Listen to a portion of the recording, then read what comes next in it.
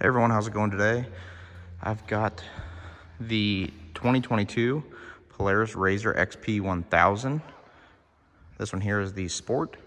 So um, the difference between the Sport and the Premium, the Premium is gonna come with the Ride Command, which the Sport does not, obviously. So um, this customer here pre-ordered this in and they added the aluminum half doors and the aluminum um, roof. Other than that, everything comes standard.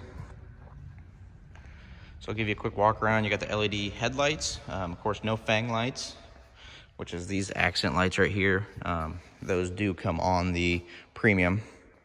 This one is completely blacked out. Even the doors were blacked out, which is kind of nice. Some people want a blank canvas to be able to make a wrap or put decals on it or whatever. So I think this option will be pretty popular this year. Of course, this is the four-seater, so got quite a bit of legroom back here, floor drains in the rear, cup holders,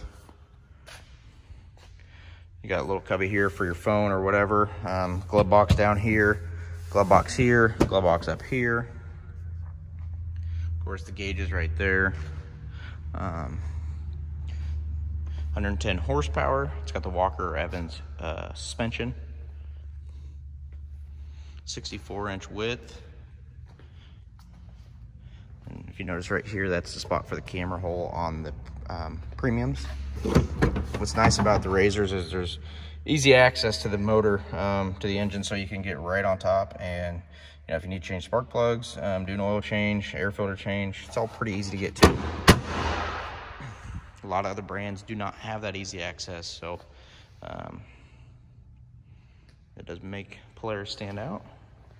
Then you do have a little, uh, let's see here, access door right there to be able to get to your oil filter. What do you guys think of these half doors? Let me know in the comments below.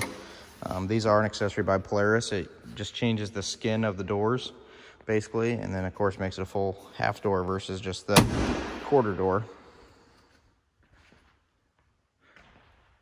Get a look at the LED headlights.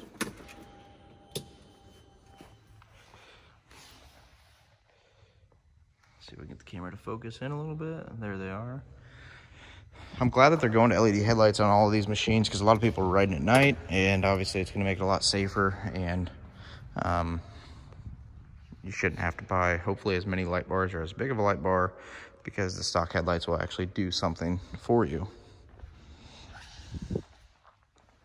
Also, the premium would have an LED light right here in the rear. That's like their LED accent light for the rear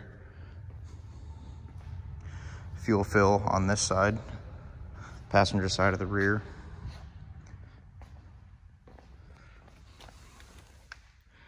Nice and open in here in case you want to add a winch. The winch goes right above the front diff right there. And then it would come out. It would remove that plate right there and then it would come through there.